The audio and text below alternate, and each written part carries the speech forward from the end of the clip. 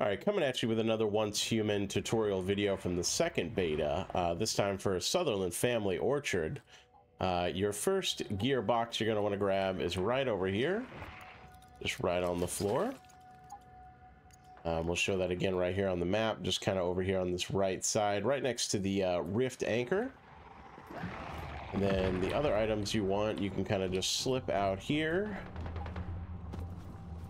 Uh, that used to be an objective for this area to fight the boss over there, but it is no longer.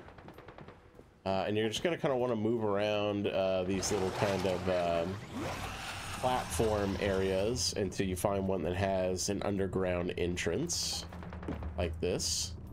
Uh, and you'll just journey down into the underground area. You'll need your flashlight on more than likely. Uh, and you just kind of follow through this corridor uh, until you get to the right area